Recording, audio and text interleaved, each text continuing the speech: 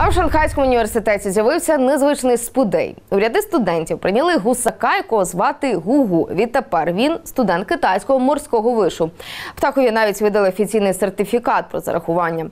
Виростила пернатого студента, одна із мешканок Шанхаю. Жінка зібралася приїздити звідси попросила керівництво навчального закладу приглянути за птахом. Прохання панянка опублікувала в обліковому записі університету в одній з соціальних мереж. Там відгукнулися, кажуть, будуть раді взяти до себе птаха. Він е, житиме на озері разом з іншими гусаками.